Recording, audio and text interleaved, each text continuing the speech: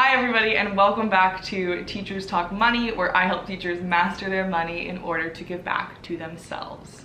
As I announced last week, but in case you missed it, I did some audio interviews with teacher friends of mine back in the day when I thought I was going to make Teachers Talk Money a podcast before I had decided to make it a YouTube channel. And I wanted to share some audio of the interviews with you today, even though I decided not to do a podcast with my channel, because I got so much value out of having these conversations with my teacher friends, and because I think you guys will get a lot of value out of it as well. So last week we heard from Sarah, who is a public school teacher in Virginia, and she shared so many awesome things about how she was paying off her debt. She shared her salary. She talked about coaching a sport as a side hustle. And that was super awesome. And this week we're gonna hear from my friend Sam, who is a very different situation, but equally as I think fascinating and insightful because she works in a different field, sort of. So Sam is also a teacher, but she is an adjunct faculty professor at a local community college. So I loved getting insight into the ins and outs of what her profession looked like day to day, as well as the finances of being an adjunct professor. I think this will be really helpful since going into professorship is something a lot of secondary teachers go into after their years teaching in public schools. But also, Sam talks about buying her first real estate property, um, which is the condo that is her first home she's living in now. And I have no insight into investing on real estate because that is something that I've never done. So I got so much out of this interview.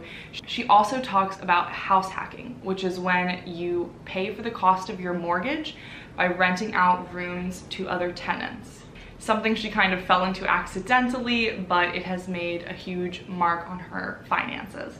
Sam was super awesome into sharing the numbers of her mortgage, what she pays month to month, and what she makes in her salary as an adjunct professor. So without further ado, I hope you guys enjoy the second podcast interview.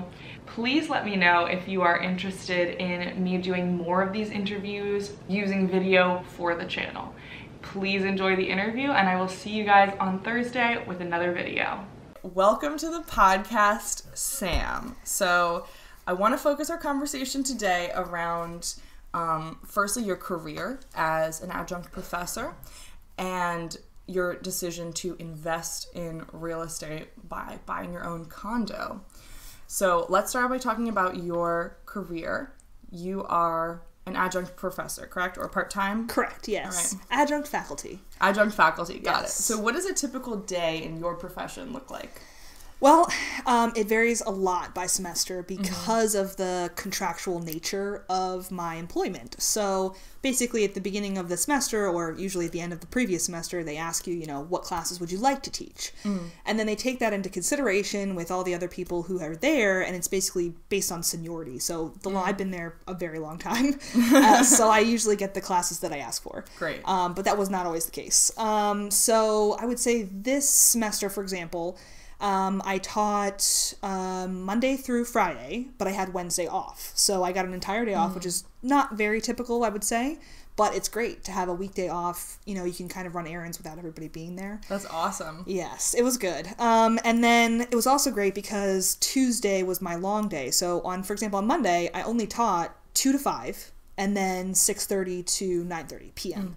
So I had a day class and a night class. And then on Tuesday, that was my long day. So I taught from 11 to 5 mm. and then 6.30 to 9.30. Oh, wow. So yeah. that was a long one, which having the Wednesday off really made a big deal. Yeah. So on Thursday and Friday, my ideal schedule, of course, would be just to do 11 to 5 Monday through Friday. That would be Yeah. Great. Who doesn't love working six hours a week or six hours a day every five days a week? That's awesome. So what was like a bad week that you like a bad week uh, schedule okay, that you had yeah. early on. so early on, um, I used to just take whatever they would give me because I just wanted to teach as many classes as possible because obviously you make more money the more money the more classes you teach. Mm. So um, one of my first or no, I would say the first year. I had only three days a week. I had classes, right, which sounds amazing, but I was so exhausted from those three days. It took mm. like two days to recover. So my schedule was 8 a.m. to 5 p.m and then 7.30 to 10.30 on two days. So literally like 12 hours of teaching, which is just oh wild. my god, 10:30 p.m. PM. Oh Jesus. yes. I'm not kidding. I was I just wouldn't leave the college. So I would just stay mm. there. But literally the first class starts at 8, you got 8 to 11, 11 to 2, 2 to 5. Mm. And then at that time the classes for the night classes were 7:30 to 10:30, which was rough coming home at a 10:30 class and then going back into an 8 a.m. the next morning. That was really hard for me.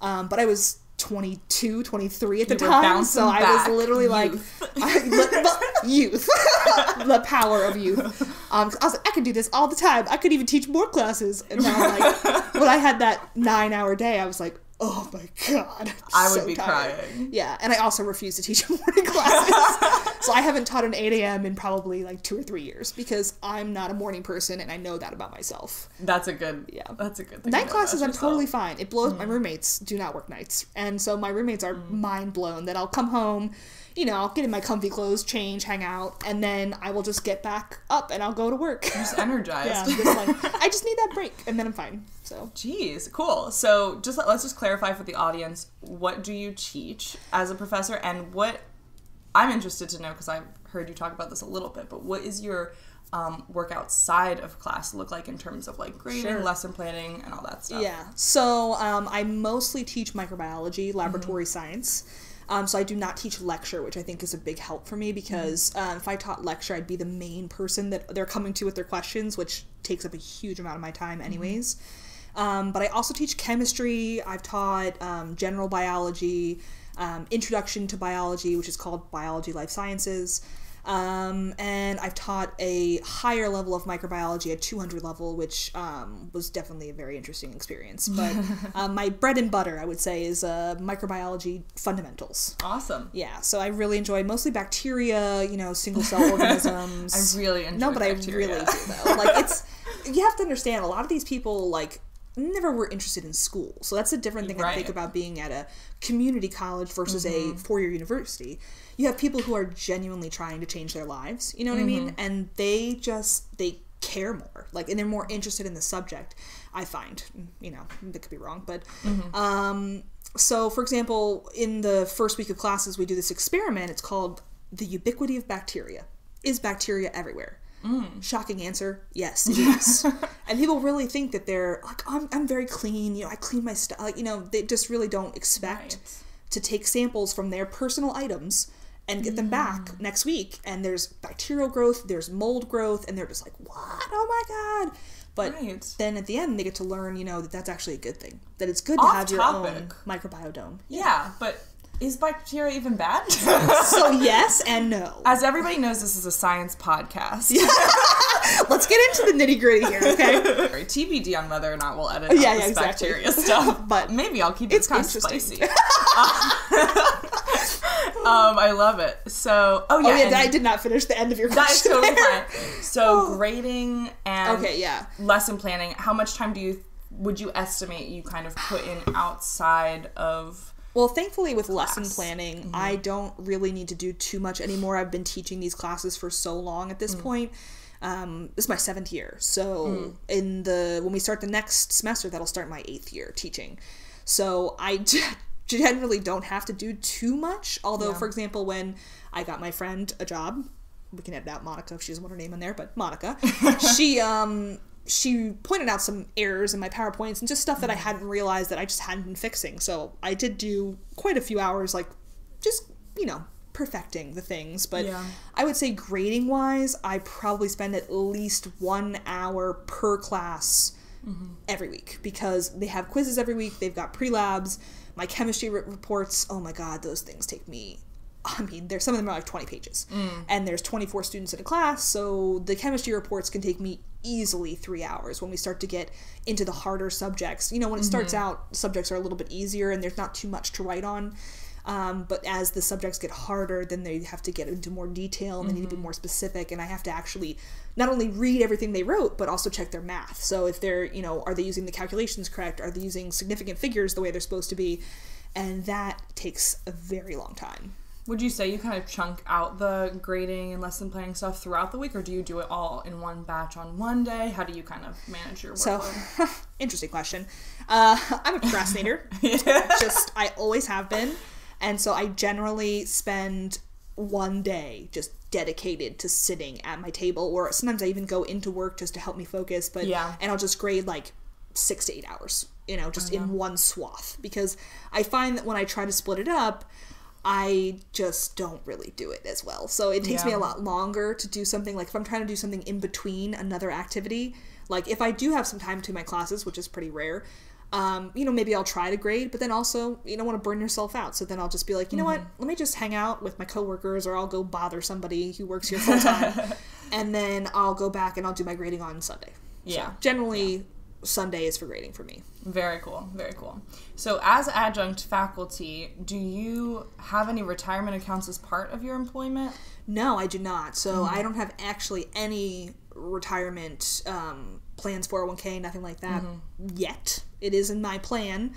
Um, but I put so much cash in my down payment for my condo Mm-hmm. that I just didn't really feel like I was ready. And up to that point, I was still living with my parents. I still had no Mm-hmm. idea what I was going to be doing, you know, for my life, basically. Yeah. Um, still don't, but you know, working on it. Um, but I do now have the cash on hand to actually set up a retirement fund. Although I kind of consider my condo to be my retirement fund because It's certainly an investment. when I right? sell it, the the hope, the goal is that it, the property will have improved enough in value that I will actually make money on it instead of just breaking even. Yeah, so let's talk about your condo then. Yeah, so, absolutely. Firstly, so how long did you live with your parents before you decided to? way too long. Um, no, I'm in all seriousness. It's it can be really difficult to stay with your parents, and I totally understand that because I did it. But Yeah. um, it was worth it. So I think I moved out when I was 25. Um, so that would be 2015, and I uh, had moved with them many many times because my dad is in the well, sort of in the construction industry, like uh, construction adjacent. Um, but uh, he built a lot of the houses we lived in, and so I had a lot of experience from that. But it just came to a point where I could not live with them anymore. It wasn't from a financial, you know, aspect. If I was smart, I would have stayed two more years, and I would have had enough money to get the single family on a little bit of property that I really wanted.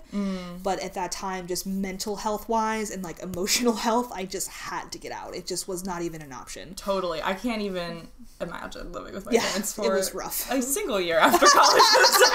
So, no offense, mom and dad. I know, really, like we appreciate you so much. you know what I mean. But um, so what? Why did you decide to invest in your condo? What factors, including money, location, and everything else, led to your decision to buy a condo in general, but specifically this one in this location and those things? Okay. So when I first moved out, I moved to um well it's not called this anymore, but it's a it was like a lower income community in Columbia, Maryland, obviously.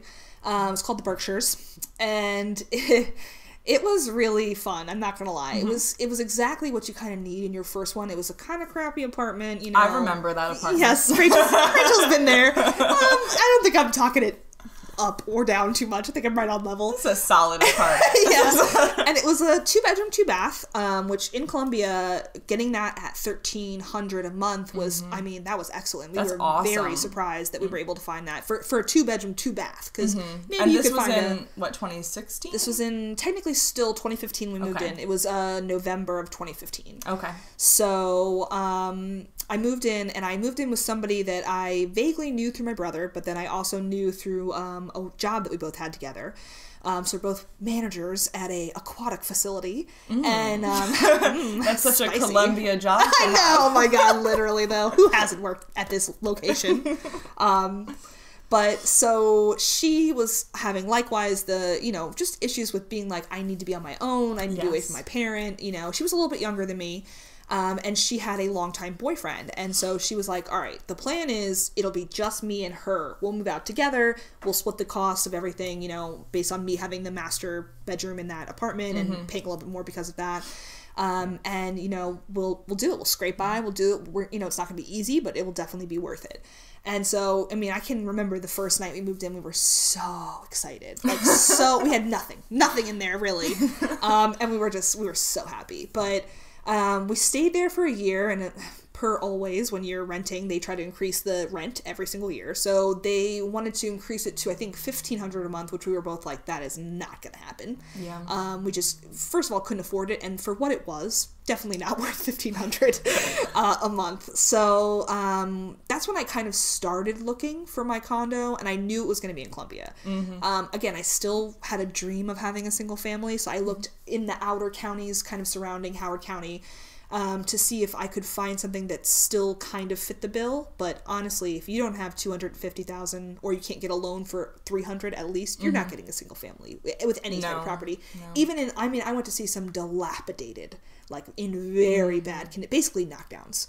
Um, that were on very small properties that I was like wished, you know, that I could afford, but I just couldn't afford it because you can't just think about the cost of the renovations, but also just like getting a roof done every 10 years and you got to do, you know, there's just so many added costs to an actual single family that I think a lot of people have that dream of, but mm-hmm. really don't understand the truth behind it. Well, I think that's su- such an interesting point of discussion and sometimes contention in the personal finance mm. world too, because there's this like long-standing idea that oh, if you're renting, you're throwing your money away every month mm-hmm. instead of putting that money back into an investment that is Right. your own property. And there's some truth to that, That is- right? that's because true. it's like Yeah. yeah, you get equity in your home. But how much cheaper is it really when, if you're renting, you don't have to deal with those renovation costs? Nothing. You don't have to deal with the repairs Right. that are completely unexpected. Exactly. Um, hopefully you have renter's insurance, so you don't have to deal with things like We flooding did. and th- right. So it's just kind of, it's a totally different um, game. So it's kind of hard to say, oh, you're throwing away versus you're putting into investment Right. when there are these hidden costs too. So I'm glad that you bring that up. And I'm not gonna lie, that was one of the breaking points for me when I Yeah. decided to buy was just realizing the rent that I'm paying every month. If I do a mortgage for 30 years, I would be paying less. And I'm like, how am Mm-hmm. I just spending, you know, thirteen hundred dollars a month, or eh, well, when you split the cost of the rent, but then also add in utilities and Right. you got to feed yourself now because I'm not eating on my parents' fridge anymore. Yeah, sadly. buying my own food, like, you know, buying my own paper towels, you know, like Mm-hmm. literally all those little costs. And I just was like, all right, we need to actually buy something. And Mm-hmm. again, I was only able to do that really because of the amount of time I spent with my parents' house at my parents' Mm-hmm. house because I um, saved the whole time I was there with my adjunct faculty work and I Mm-hmm. had multiple other jobs when I was you know in my 20s early 20s I'm still in my That's 20s the way to do it when you've got the energy. I'm talking like I'm old. no but I'm we are. 23, but I'm old but I've been teaching for two years, so I feel a little little Yeah. tired. Um, so how much money did you end up saving as a down payment, and what's your what was your mortgage rate over what number of years, and what's your typical mortgage payment a month? So I um I basically when you're trying to get a loan, uh generally they only want to loan you twice your income. So that's only like 80 grand for me. Yep. That's not enough to buy anything. You can't even buy a single bedroom like one of those I call them sad condos because it's like mostly like divorced people, but yeah. Um, and there's no laundry inside the unit and it's very like yeah. mm, I, I went to see some of those too. It was bad. Um but I wait, ask me the question again. My brain how was like, much did you save as a down payment? Oh, payment, yeah. and uh, like what do you pay for a mortgage monthly? Okay, so um, I managed to save total. I had forty five grand um, in my bank account when I went to sign the um, initial offer. So you had to put down. I think it was I put down like ten at that time to show that I was serious, and then I had the letter from my um, mortgage company uh, proving that I basically would have the funds. And so I ended up paying, including closing costs, 40 grand almost exactly. Um, and I had like a thousand dollars in my checking account and then like three in my savings. And I was like, there's nothing like waking up one day and all the zeros are gone on your bank All the account. and you're just like, so, but I was- did this to me. I know, literally. I was like, what did I do? Why did I do that? I don't understand. Um, so I got, a, I had to get a special loan because I did buy my condo for $198,000, which is obviously more than 80, which is what most people would have loaned me. So I used a, um, a sort of a specialty type loan for people who have low income. And um, so I got a lot more money than I probably should have, quote unquote, been able to get. And that is why I have a 4% um, APR on my 30 year fixed loan. So it can never increase, which is good, but it is a little bit higher than what I could have gotten. So if I had had a higher paying job and would have been able to basically prove that I could pay it back, um, I probably could have gone as low as you know 3.75 or maybe even lower. Yeah. Um, but it just it was like I I need that amount of money, so Mm-hmm. then I had to take that kind of loan, which is again fine because. Um, I mean, how did they think I got the forty grand in the first place? That wasn't a mis- like, mistake. I, I, I saved that. Like, um, Right, you're clearly clearly right, but they didn't want to believe it for some reason. I don't know. it's just the numbers, man. well, it, it also affected that I am not a full time employee. S- So, um, because of that, that was another factor. So they, they really want you to have full time employment when you get a loan. Because again, it seems sketchy that you're part time, even So though sketchy. you're making forty grand a year. You know, Educating America. yeah. the youths. And then my average uh, mortgage payment, like the bare minimum I have to pay, is uh, one thousand seventy five. So not that much, but I do pay over so that I pay more principal uh, than what is originally included. Because I think only two hundred dollars of that entire payment goes to my principal payment. Everything else it. is going to my escrow, going to my um, basically paying them back for giving me the money, the interest. Mm-hmm. Um, so I try to pay back fifteen every month. That's awesome. So, tell me about your experience with house hacking because you kind of got into it accidentally. Yes. So, for our listeners who aren't familiar with this, ha- house hacking is when you get a place with a mortgage and then you rent out rooms in that place so that so much a certain amount of your mortgage is covered by the other tenants. So, how did you get into that? What, what's your experience been so far? Um, honestly, overall positive experiences because We are sitting here in her condo. roommate is here. her roommate is here. So, I have to say that. so we have to say that. No, just kidding.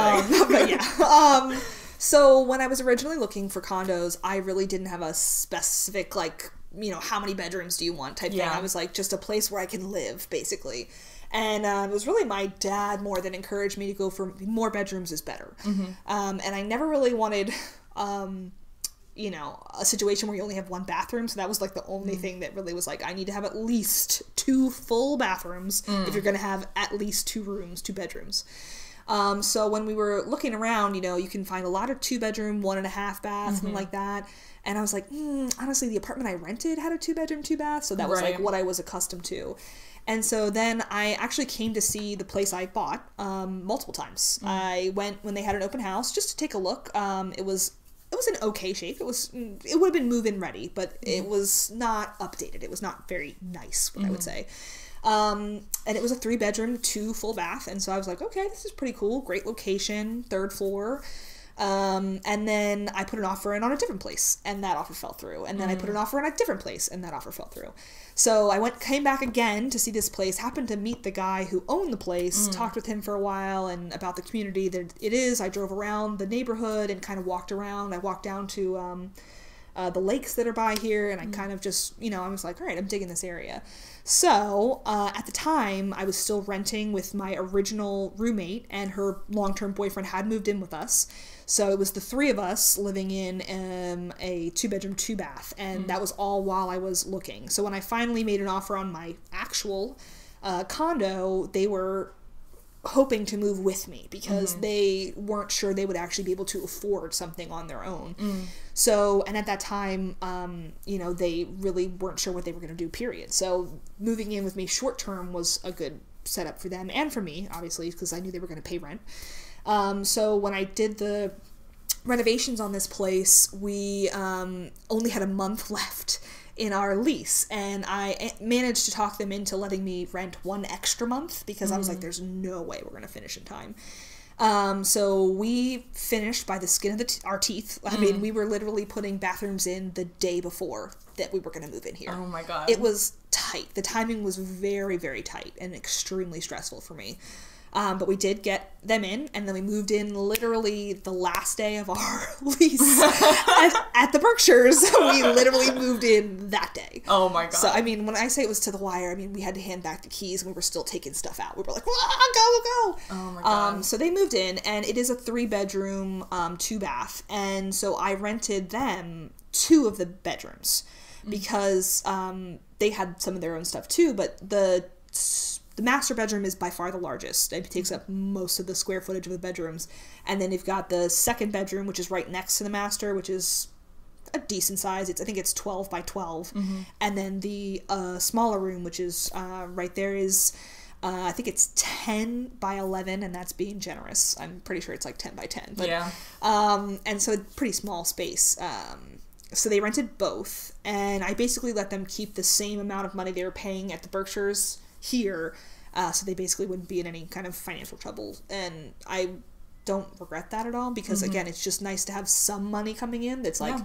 I knew I could afford the place. That was my whole cost benefit analysis of buying was can you actually afford to live there on your own? And the answer is yes, obviously I could afford to live there, but I'd be scraping by as opposed to living I would say pretty comfortably. Yeah. You know, I'm not concerned about whether I'm going to make my mortgage, you know, I'm I always have enough money for that.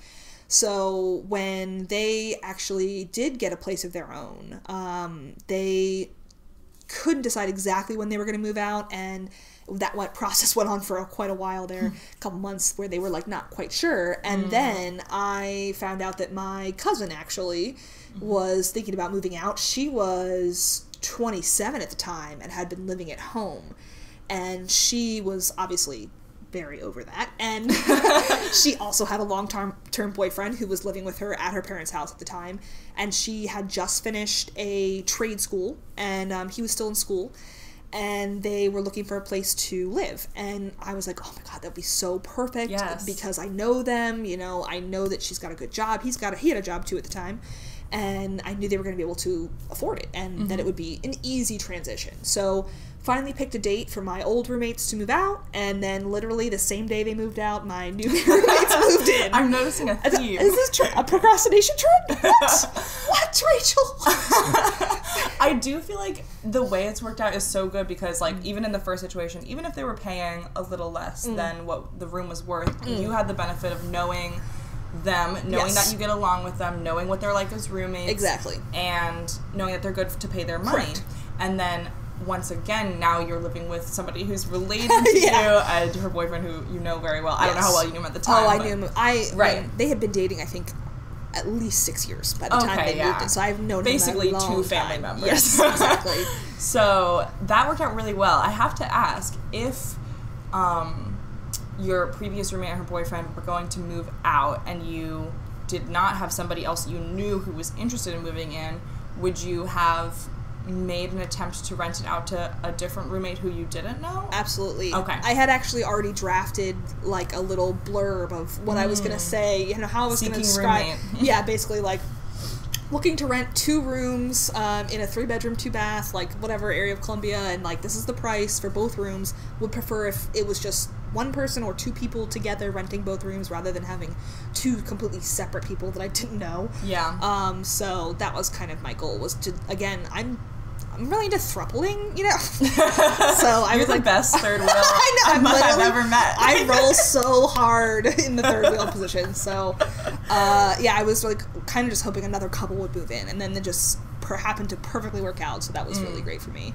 It's awesome. Um, and they're still living here, and they're going to sign another lease. So you know they'll be here for at least another year. And then Mm.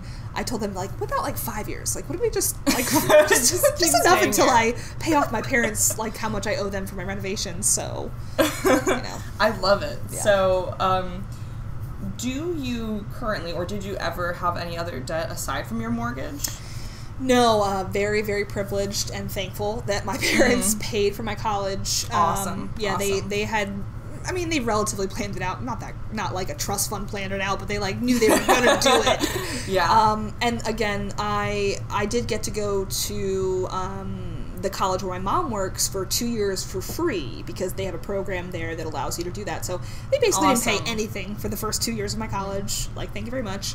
And then I did one year abroad, which was very expensive, and they were like, "Please come home." and then I did my last year at the uh, University of Maryland and uh, Go finished my degree there. Heyo. so uh, So in state still. Yes, too. still in state. Yes. So two years of community college. Yes. Um, using your mom's employment there as a benefit. One year abroad, and then one year in in-state Mm-hmm. Public school. Very Yes, cool. yeah. I love that. That's very um eclectic. I, because that's my life. That's so true.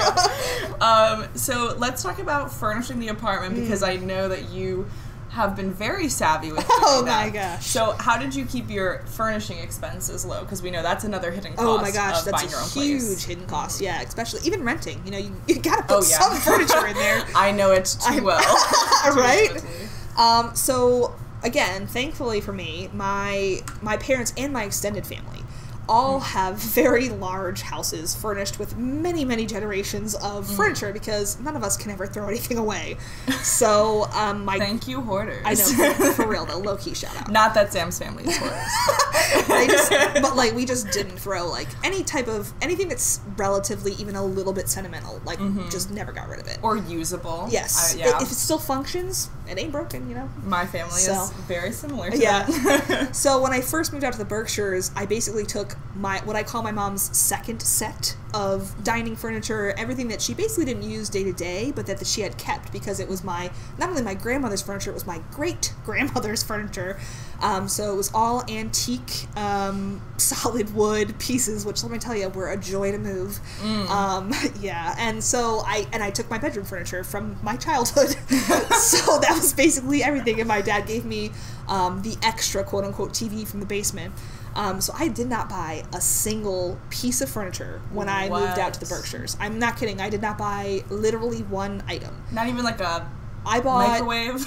no. They gave me their extra microwave. My par- let me tell you, my parents. extra microwave. Yes, they still do, Rachel. Like they still do. I went over there for Thanksgiving, and I was like, "All right, we got this, we got this." I was like, "Oh, let me bring up the extra microwave." I was like, "Why? Why do you have two mic? You guys don't even cook." But yeah, so I that microwave right there. That's my parents' microwave. I love it. Yeah. I love it. So, oh, JK, my mom bought me that toaster. There you go. That's Aw, something new that came Mom. the Berkshires. Yeah. um. So, I and I so when we moved from the Berkshires originally, we just brought all of our stuff Hmm. from the Berkshires to here, and it filled the space reasonably well. It didn't really fit great because it is gigantic, fully wood antique furniture, and so it was Yep. massive. Um, but we just didn't have any choice. Like even the the couches Rachel and I are sitting on right now are my parents' extra couches, quote unquote, um, that are from 19, 1995, baby. Um, oh my god. girl, if I took off these, I love their plaid. Just to like, let me give you a little mental picture here. They're green plaid with red, yellow, and navy blue. Merry Christmas, us. yes, so they have couch covers. That's again something I bought for myself. Whoa. Big splurge there, Yeah. Sam. No, but I actually like debated for like a long time. I was like, should I get couch covers? Like, should I do Mm. it? Because it's like, you know, am I going to keep these couches forever? Probably not. But I am I going to keep them until they fall apart? Yes. I love that. And this kind of leads to another question that I have, and that is what did your parents teach you about money? Because every time we've talked about it, it seems like they have instilled some really, really good money values in you, from at least in my opinion, Right. as somebody who grew up with like not financially savvy parents. Yeah. So what what kind of lessons have you garnered from growing up in your family? So definitely, um, I think my parents, my mom, my dad have different views on money, um, and very typical white family. We did not talk mm-hmm. about finances, and like when I did have questions, my dad was like, "Why do you want to know? like why?" White family, TM. white. We are white AF. so um, basically, I've always been a saver. I mean, you can really, you could, you could interview my mom about this. She will mm-hmm. verify. I've just don't like spending money. Natural to you. I just mm-hmm. like I'm like a little dragon. I want to hoard all my coins and sit on top of them. Like I don't even need to do anything with them. I just want them. And um, my brother is the complete opposite. So it's so interesting that we had the same, you know, childhood basically, same parents, same I- ideas and values about money put on us, but he's totally different. Like I mean, he just got a brand new car. He gets a new car like every couple of years I have because anxiety right now. because that's what he likes. So like he wants to have a brand new car. He wants to have, you know, nice electronic things and like things that are very expensive, which is fine. Like I think that's totally a lifestyle choice that you can choose. That's not me though. Like I would mm-hmm. rather I had my last cell phone I think I had for over 5 years and my parents finally were like get rid of it. It has a crack on the screen. It's not very fast. Like you know, stuff that doesn't bother me. But they were like, you you need to have some nice things, please, Please. please. It looks like we have deprived you. Yeah, literally. So um, my dad is definitely a natural saver, and um, my mom I wouldn't say she's a spender necessarily, but she doesn't think too too hard when it comes to spending money. If she wants something, she's gonna buy it. But they're both in very f- secure financial positions. right. They're both higher earners. Exactly, yeah. And they um they grew up both pretty poor. So I mean Yeah. not like, you know, not dying poor, but they grew up without a lot of money and, you know, mm-hmm. their big outing as a restaurant would be to go to McDonald's. Or, Oh, yeah. you know, there was this place called Peter Pan that was like sort of like a McDonald'sy type thing, but you go mm. through a little line and then you sit down. So it's like a little bit different. My parents would say. I've never actually been there, just heard a lot about it. Where are they from? Out of curiosity? They are both from Columbia, Oh. if you can believe that. Yeah. And Peter Pan just doesn't exist anymore. It does not. It went out of business. Oh, wow. Yeah. So Back my dad is from Mount Hebron area. My mom's from Okay. Wild Lake. Wow. My mom went to Wild Lake High School. Oh my gosh. Yes. We moved a lot because my dad at the time um, was he was working his normal full time job, but then he also had his own business on the side as sort of like a house building with a couple of his brothers in laws. Mm, So, did he grow that business Correct. while he was doing his full time job Yes. and then made it his full time job? No, he actually ended up staying at his normal full time job the Oh. whole time. So yeah, he's a hard like I mean I, that's a Just a hard worker. Yeah. yeah. he can't chill too much. Like that's not really like his thing. He'll go home and he'll be like, my mom and I used to joke about this all the time. He, we had just normal drywalls inside the house in one of our our houses, and he was like, you know what, wainscoting. I want to put some wainscoting up. And we were like, but why? Because we just lived in construction, constant construction. Mm. But those little upgrades, you know, that don't take him hardly any money, just the products basically. And he seems to enjoy it too. Yes, I would argue. um, and so that increases the value of the house. And so he did a lot of that kind of stuff when we were growing up. In between big moves, he would do small things like that. And eventually, as he got older, he they scaled back, just doing um, like kitchen renovations. They did some porches and like stuff like that. Um, when they didn't want to build whole homes anymore. And at a certain point, it becomes non cost effective because the housing market was getting huge. This is all before the bubble burst. So this is all pre 2008. We bought um, the house that I lived most of my life in, well, a good chunk of it, uh, in 1999. So it was finished being built. I said we bought it, but we built it. So they bought the lot, then they built on it, and we stayed there for a good decade. And that was probably the longest I've ever stayed at any one location. And when they sold that, I mean, it had increased in value. It was some crazy figure. I can't even remember. They bought it for, I think, like closer to like the low end of the 100s and mm-hmm. they sold it for a crazy amount of money. Wow. So, yeah, it was, I mean, a great investment on his Yeah. part. And he got into it at a point when it was really popping. Like, you could really buy land out in what seemed like almost the middle of nowhere, but build these custom mansions and sell them for a crazy price. So that was like a huge thing for him, and that made him secure basically. Um, where he can do, you know, he wanted a new truck, he can get a new truck. You know, he wants to go buy a brand new whatever, he can do that. You know, So, what renovations have you done with your condo, and how much have these cost? So much. and how much do you estimate they've increased the value? Okay. Um so when I bought the place, like I said, it was okay. I could have moved into it. Um, but uh, obviously I let my dad talk me into a lot of renovations. Because originally I was like, you know what, let's just buy it. Done. Don't do anything to it.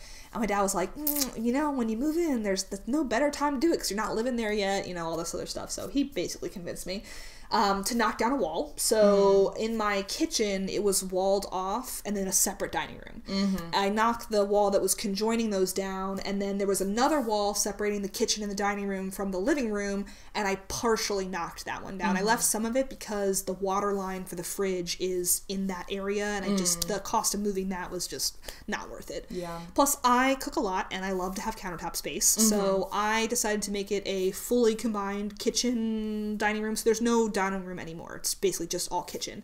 Mm-hmm. And so I've got 18 feet of countertop on one wall, then I've got about four on another wall, and then I've got four on this other wall. Mm. So I have got an insanely huge kitchen for a 1,300 square foot apartment. Mm. And knocking down the walls and um, I also gutted the bathrooms. So both mm. bathrooms, oof, they had linoleum in them. They were bad. Mm-hmm. Um, you know, just really old toilets, old vanities, Yeah. just really old stuff. And then we ripped those out. And unfortunately, as always, there are always unexpected costs with renovations. Mm-hmm. The person who had owned before us, or possibly even the person before them, had incorrectly installed the pipes for the mm-hmm. tub areas. So, what they had done, probably to save money, was install sink piping, which mm. is not fit to handle that type of water pressure, underneath the um, t- tubs. And what had mm. happened is actually a small leak had act- already occurred. Mm. So they no one knew at the time, but we could actually see it from above that the person below me, their bathroom was getting a slow drip onto their mm. the ceiling of their bathroom. And now, unfortunately, or fortunately, this is a concrete slab um, apartment building, so it's very, very sturdy. It's long lasting, but you can only replace the pipes from below. So uh, a lot of the stuff is underneath the slab as opposed to on top of because it would lower the ceilings. So we had to ask the people below us, would it be okay if I destroy the ceiling of your bathrooms? Oh my god. yes, and they were very cool about it. Um, I really, That's awesome. Yeah. Oh my god, it could have been really bad because I was like, what's happening basically is I have a very very small leak Mm-hmm. from improperly sold pipes, which I basically have to fix now that I know it's there. Right. Um, ethically, but also just building code wise. Right. Um, and it's not a huge deal now. I was like, but if we keep those pipes there, Mm-hmm. you know, you're gonna have leaks and maybe a massive one. And I was like, and it's your place, you know, so like their stuff is gonna be ruined. So he understood that and he was like, yeah, that's fine. And um, so he did actually let me go into both bathrooms, rip out their ceilings, uh, which I replaced. I paid for, and uh, I repaint. Uh, I personally didn't replace them, but I paid for them to be replaced and repainted. Kind of did him a favor. Yeah, I like to think so. Just interrupted their lives yeah, a bit. low key. Yeah, he was like. uh, The best part was he was like actually about to get in the shower, and I was like, no, but like right now. About to get in the shower. He was like, oh, Have I'm- I got news for you? I was like, ooh, ooh, ooh. Got some bad news. He was like, uh, no, it's fine. I'll just, I'll, it's fine. I'll just do it later. I okay, great.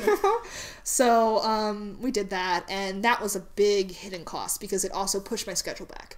So when you are doing a renovation, you, you need to think about the basically the order of operations. You know, as, as our math people would like to say, and you can't put in the floor before the toilet. You, can, you know, there's just like there's just certain things that have to go in a certain order. So we were able to get a lot of stuff done that, you know, in the kitchen, for example, we focused on the kitchen for a solid like two weeks, got that almost completely done, except there was no water because the plumbing had to be shut off because there was no bathrooms. You can't enjoy your nice kitchen yet. yeah, I was like, oh god. But uh, let's see, total cost of renovation was about, I was trying to keep it at 20, eh, more like 30. It was like mm-hmm. 28 and change. Okay. Um, so 28 grand was a lot more than I had intended on spending, but I mean, honestly, I love everything in here. I picked everything mm-hmm. out, you know, myself, and every ca- cabinet you see in the kitchen, mm-hmm. I carried up the stairs myself. Like every piece of hardwood floor that's in here, my parents and Paulina, shout out Paulina, Oh, shout out Paulina. she was hungover AF. she came over here and we carried 50 pound boxes up for probably a, a good hour and a half just Oh trying to get all the Mm. flooring up here. So, I mean, a lot of the stuff that I could do, I did. We call that sweat equity. Mm. Yes. So, it's the amount of work that you're willing to put in. So, anything I could do, like I helped grout my own bathrooms, and you know, Mm-hmm. it's just like anything you can do to hurry the process along and get it going, you try to do. And, and also, it does save money. Yeah. But renovations, I will say, are incredibly expensive. And that's why a lot of people, I would say these days, are looking for move in ready Yeah. places. I, almost nobody wants to do demolitions and do renovations because there are always unexpected costs. Well, it's all that cost, but it's also all the time, and inconvenience Oh, that yeah. it's going to cost you. And we know time is money. I so had it's to like, schedule everything. You gotta, you know, you gotta call everybody. I, we had a huge Excel sheet, just like Mm-hmm. you know who's gonna be there, at what, what time, what products they need. Because if you tell them to buy the product, of course there's gonna be an upcharge because they have to go get it, and then they're gonna pay for that time. So then, if you're willing to go say, okay, what do you need? I'm gonna go buy it for you and bring it back here at this scheduled time or whatever.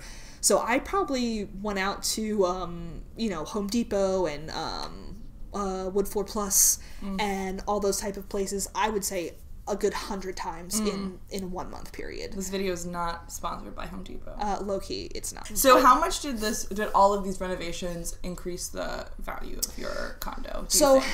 I bought it for 198. It was listed at 215 at the time, which um, I knew I wasn't gonna pay 215 for it because the guy, because I had actually met him, I had a chance to talk to him, and I knew he was trying to sell because they had already bought another house. So for me, the timing just worked perfectly. Good. And um, he actually decided, or no, he had a, a, an offer, all cash for the full two fifteen from a woman who was going to buy it, and then she rescinded her offer when she realized it's a third floor walk up with no possibility of getting an elevator. Like Oh, there's gosh, just yeah. no possibility, and she was an older lady, and so. Yeah. Um, he had had two offers rescinded before I made my offer, and he was kind of like over it at that time. Seriously, especially So- if you're paying two mortgages. Exactly. Goodbye. And so yeah, he was like literally like let's just do this thing. Um, so not only did I only pay 198, I also got cash to close help. So sometimes when you're buying, you can offer or you can ask the seller to uh, cover some of the closing costs for you because the closing costs can be upwards of 10 grand. And um, generally it's the buyer's responsibility. Not always, kind of depends state to state. Um, but we had put that in the offer that I was not going to pay the closing costs by myself, basically. And so that really helped me out as well. Um, so when I look, I every now and then you like to go a little shopping on Zillow. You look around. Oh, I do it all the time. Who doesn't? It's like a I love to look at super expensive apartments and also super cheap ones and be like, Yeah. could I do could it? I could I live there? No, you can't. Trust me. um, so Watch there's in in this neighborhood, uh, there was recently a two bedroom, two bath uh, sold for two thirty five. Mm. So that's a pretty decent um, increase, and I also did just get my my property taxes went up because I got a new uh, what's it called when they come and look at your a new Inspection? audit. Yeah, yeah, Audit? Mhm. and they um, increased the value of my property, and I was like. Mm, it's a double-edged sword. You're happy because Mm-hmm. they increased the value of property, but then you're sad because You have to pay the property tax. exactly. Which the property taxes in Howard County are unreal. I mean, I like, believe it. I pay so much in taxes, and I don't have any land, zero percent land. I'm like, but it's should, we're stacked though. Like, should that affect? Okay, fine. um, but uh, so if I put, we'll think I put about 28 in here. I bought it for 198. So at this point, what five grand total Mm-hmm. increase?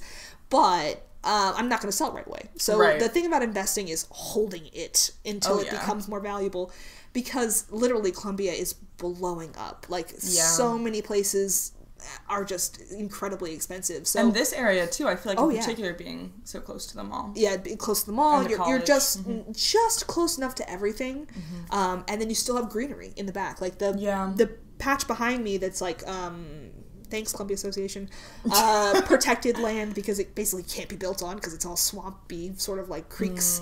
Mm. Um, they uh, are never going to be able to get rid of that, so you're always going to have greenery behind you, which I think is a huge draw for people who are looking to live in the city but not feel like they're living in the city. Yeah. So location, location, location. You know, Mm-hmm.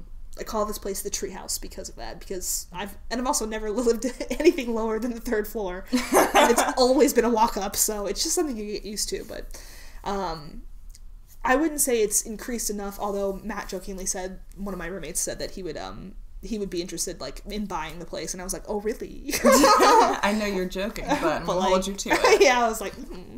but I could sell it now and still come out in the positive. Mm-hmm. Uh, I don't think that would be necessarily the smartest thing to do unless Yeah. someone was really willing to pay like top market price, which I don't think is very realistic. But if I could get two forty five out of this place, I would definitely make a profit. Mm-hmm. So Great. So, what advice would you give to first-time home buyers?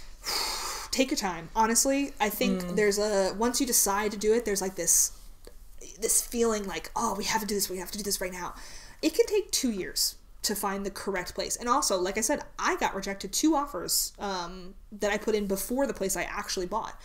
So you know, you, you would you want to expect that as well. And the other huge thing is buy less than what you think you can afford because I bought at the very top of my budget. My absolute top price was 210 and I bought at 198. And because of that, like I skipped out on some of the nicer things that I could have and in real like I'm looking back at it, I know I should have done it. So just as for example, I have laminate uh, countertops and they are already starting to show wear after it's only been this is the end of the second year. So that's not great you Yeah. know considering they already cost basically five grand. It was like four thousand nine hundred and eighty something dollars. Mm-hmm. So for a five grand countertop to only last let's be real five years mm-hmm. that's not cost effective. No. and my dad actually told me props to him. He was like, get the quartz. Just get the cheap quartz, even if it's not what you like. And I was like, mm. I don't want that. I want this specific. I had this vision, you know, and I wanted it to mm. look the way I wanted it to look. And I had had laminate countertops at the Berkshires, which were perfectly fine. Right. And they weren't new and they were fine. So they were like mm-hmm. probably five years old when we got to them and they, they looked decent. They held up mm. decently. Um, but I don't know what is with these countertops, but I've already got several nicks in them and like little scratches and I've got a piece that's coming off and so um, that is one thing I would have done differently is is again thinking about the long-term cost versus Yeah. the upfront cost. So because I spent that 5 grand on getting the countertops that I wanted at that time, I will not be able to keep them for very long. I and then realize, you know, we talked about this before, but when it's not broken, you're not going to fix it. So Right. I will keep them until I'm ready to sell. Mm-hmm. When I do finally sell, I will probably upgrade them before I sell mm-hmm. because they're going to be an eyesore at that point. You know what I mean? Yeah. Something so small that doesn't have a huge cost can literally detract people from buying. So what I would say is be careful with wanting to get it done cheaply and now versus what is actually going to be effective in the resale because Yeah. if i can keep these floors until i resell and not change them that's a huge cost in my favor like if i had done exactly what i wanted and put in, in even more expensive flooring maybe they would last even better but if Mm-hmm. these make it then it was worth it Right. and these are also the floors I wanted. So it's like again Yeah. that balance between okay, I want this done now. I want this just because it's cheap and I can do it and I know I can Mm-hmm. afford it. But then you also want to look at you are going to probably sell at some point. And you know if that's more than 10 years away, maybe you don't need to think about it too too much, but I realize now there are some things I probably should have spent a little bit more upfront cash and then I wouldn't have to have so much maintenance cash. Yeah. So- yeah. That is it's such an awesome and interesting investment. But like It is, listening to you talking about it and giving the numbers, I'm like Woo! Stressed. yeah. I will be renting for, for the foreseeable future. Yeah. I mean, if you think about it, okay, so my loan originally was for 158,000 plus, you know, a little bit more. Um, and I'm now down, I just got down below 144. So I am paying it down quite quickly, but it is a huge cost. I mean, and I still owe my parents from the renovations. Uh, because again, my very privileged, very lucky that my parents were willing to put the cash up front for the renovations. Because if they hadn't been Oh, willing to put thing. that cash up front, I just genuinely I told you, I had less than five grand in my in my account. So there's no way I could have afforded to do the renovations. But again, I let my dad talk me into it, and he was putting the money up at front. So I was like, all right, I will take it, Dad. yes, thanks, dad. So I have a question about um so you come from a family where your parents are both high earners and you have a and they're dual income Yes. as well. Um do you ever feel limited by your lower income uh, working as an adjunct faculty at the college? I think it's a lifestyle choice for me. Yeah. Like I just even though I, I did talk about I like money, like to have it. Um Me too. I don't I have a real strong like to make about it, like to keep it. um not dying. Uh so I definitely am poor. Like they think I'm poor. I am poor. It's fine. But like I don't need a lot of things. Like Mm-hmm. a lot of things that they're like, well, if you had a full time job, you could have this, or you could do this, or you could Mm-hmm. do this.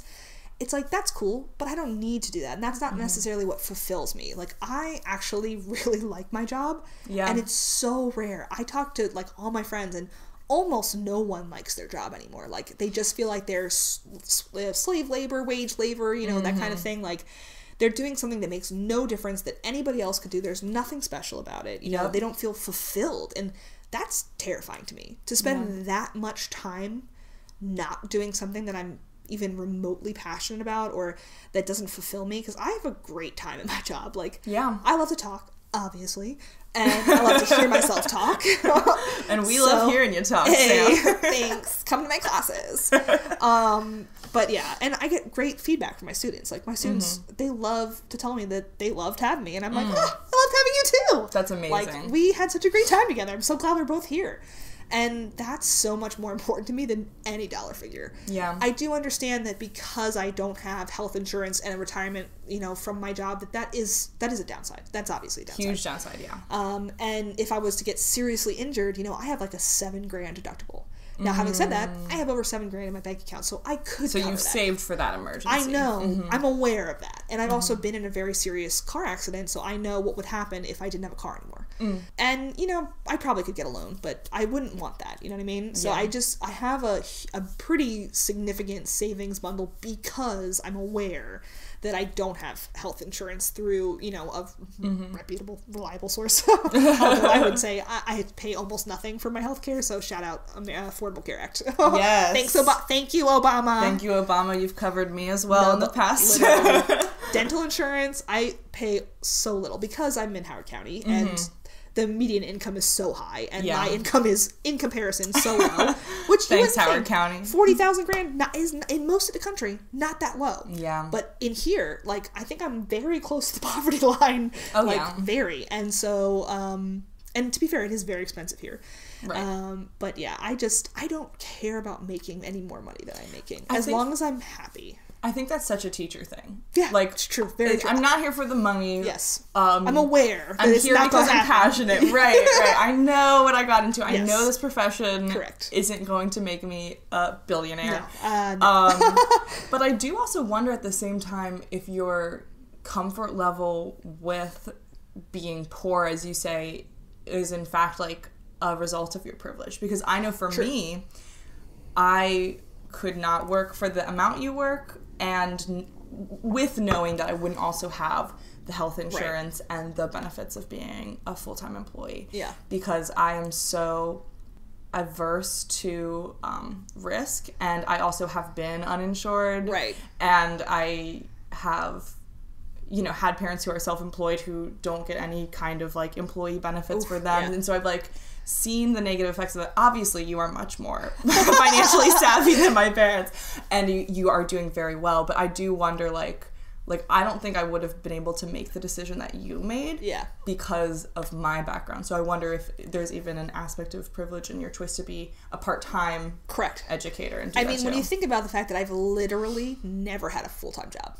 ever, and the That's amount crazy. of well, and the Yeah. amount of time I have off is unreal. So right now I'm on break. I've been on break since like the fifth of December. So Oof, I have that. all of December off. And I have all of January off, Mm. and then um, I have, if I wanted, the summers off too. Mm-hmm. So I could afford to not teach in the summers. That's what five months off basically Mm-hmm. because I'm done because I teach lab we finish early so I'm done basically like usually by the earlier than the 10th of May so I'm gonna count all of May all of June all of July all of So your per month income is actually pretty sweet. yes. If you looked at it that if you, if you if I if I if you only look at the months I'm working I make a great amount of money. But Mm-hmm. if you look at the whole year altogether it's a lot less impressive. Um, but and there is like very sporadic income. So like i know that i will not make any well so the Hmm. way the payments are delayed you've got i just got my last payment. So i get paid bi-monthly and um, they they push it back like one session so like Hmm. you miss so when you first start working you're not getting paid which is very difficult at the very beginning Oh, yeah, to that's like everywhere, work with not much. getting paid Yeah. um, but then when you stop you're still getting paid Mm-hmm.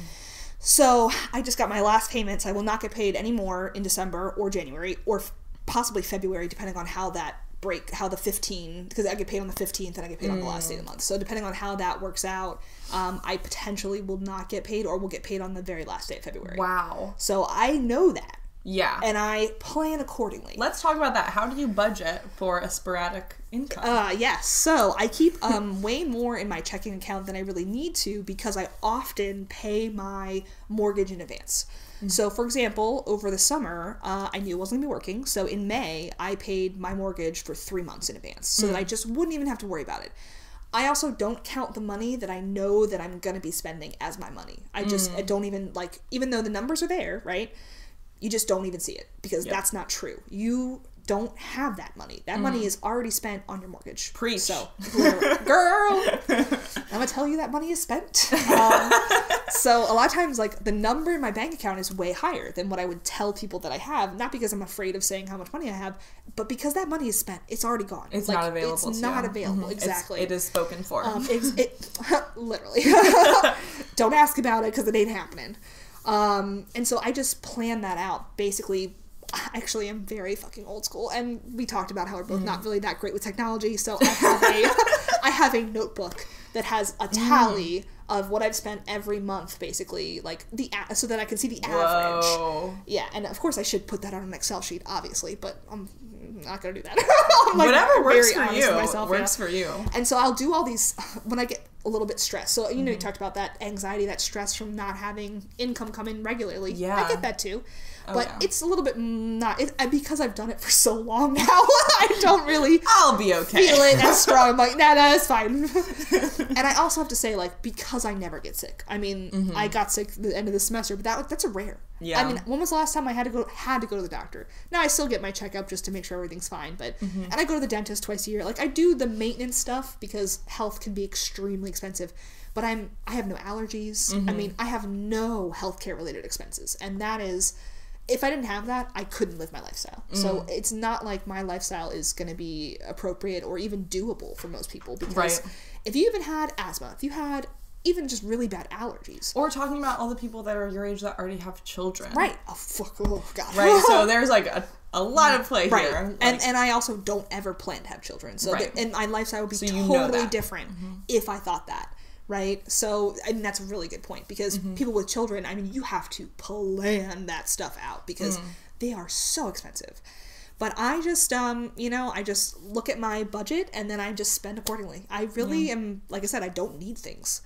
I the last time I went shopping, I didn't even go shopping for myself. I went for Christmas presents because Yeah. tis the season. oh yeah. Um, but I spent like a hundred bucks, and I was like, ugh, you know, like Yeah. spending that amount of money on any material item to me is like kind of crazy. Yeah. Like I'll buy flights. You know, I've been outside the country a bunch of times, and I, I like experiences. I like Yeah. concerts. We go camping. Um, and those are my vacations. Like I like camping. People are like, "Oh, you're just doing that because it's a cheap vacation." I'm like, no, I, I actually genuinely enjoy it. Let me tell you, me discovering that I liked camping was Uh-huh. probably the best thing for my Right? travel budget in the world. It just, it's crazy how little money It is spend. crazy cheap. The last time that we went camping together, Sam, I think we all paid like Less than a hundred dollars. yeah, I'm pretty sure, including it- food. Exactly for like We split it. multiple days. Yeah, that And was a great split- thing that we did, though. I like, know. We're, Bring we're our awesome. snacks. girl, High five. literally. But yeah, I mean, we were very smart about it, and Yeah. like because we all had the, and we all have tents now, so like I get that there is Yeah. some upfront cost with camping, but Yeah. um, I mean, honestly, I got my t- my tent on sale for like forty bucks. Yeah. and it's a great tent. I I love it. So you know, I know. I got the same one that you And have. so did Monica. I asked my parents for it for Christmas, and I got the same one. but like, and Yeah, now we have matching tents. I know we literally did. We had them all set up one, two, three on the campsite. Um, but yeah, so it's just like I don't like I don't wear jewelry. You know, Right. I, that's and that's not because I don't. I mean, I just don't really like jewelry. You're such an accidental minimalist. I literally, I it's love it. completely accidental. I literally had to like purge things from my Yeah. life and like totally accept this like intentional style of living. Yeah. You're just doing it. You're like just- I don't like minimalism who? I don't even know her. This is just me, Yeah. Samantha. yeah, li- literally. Um, and like I was telling you, I cut my own hair the other day, and Yep. someone was like, "Oh, I love your hair," and I was like, "Thanks." I cut it myself, and they were like, "What?" I grew it and cut it. literally it's all me so and i don't wear makeup and again that's not Yeah. because whatever i just don't like it i Yeah. it's just not a thing that i like you Well, we have to acknowledge some privilege in that too, though, because we know that women in the workplace, in not the education field, of course, because we're just flooded with women, but in other workplaces, have to wear makeup literally to get hired, right To be taken seriously, to be of dead without it right, to to be seen as as my mind. um, clean and responsible Right. and not lazy and womanly too that's the yeah. like and then with the hair thing, Yeah. like we as white women with like pretty quote unquote standard hair, Right. right? Not really standard, just Yeah. what you know society thinks of as standard. We don't have to do anything to it, Correct. but for women of nothing. color or just even women with like totally different hair textures, they actually products. have to Yeah. invest in those products as an investment for their careers, Right. Right. So. If That's not really even true. just for wanting to feel comfortable in a That's situation, absolutely- which is also valid. So Yeah. I totally agree with you because I also don't spend money on haircuts or my nails or anything like that. But I also and I don't really wear makeup except my eyebrows. I do them every day. They look nice though but they do look oh, nice Oh, thank you, thank you. They have to. Otherwise, my ego will die. They're really all I have going for me. No, but um, but I I also work in a female dominated field where we're not expected to wear makeup Absolutely every single true. day. Maybe at some schools you are, but I don't think Not it's in a- my an school. Mm-hmm. expectation, more of like. I, I do think people respond better to you when you're good looking. So if this is true. that is a big privilege as well. Yeah, Mm-hmm. if you know like you have whatever going on, you need to fix. Quote, I hate that though, but yeah, that you need to change or look better somehow. Then it is a thing. Like people do treat you different based on how you look. But like, and again, if you look in my shower right now, you'll see uh, random stuff because I like Caitlin didn't like some shampoo she bought, so she was like, "Do you want this shampoo for free?" I'm like, "Perfect, done. Mm-hmm. Don't even need to look at it. Don't care." You know, I have no brand loyalty. So crazy because I feel like we were raised in households of totally different socioeconomic status, and yet we have very similar. I like our parents had very similar ideas about like frugality Right. and stuff, Yes, and so definitely. this is really fun. I am like, oh yeah, me too, but like because I'm poor. you were just raised right because they could. yeah, they were like, "This is how we do it."